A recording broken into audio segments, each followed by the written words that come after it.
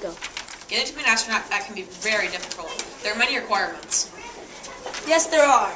As in, you need a bachelor's degree in mathematics, biological science, engineering, and quality of academics, good blood pressure, and 20/20 vision.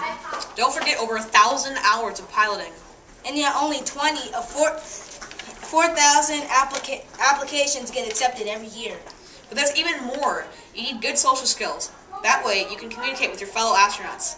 And you need to speak Russian and English. Wow! But did you know that in all the history, there has only been 357 astronauts all around the world? Whoa!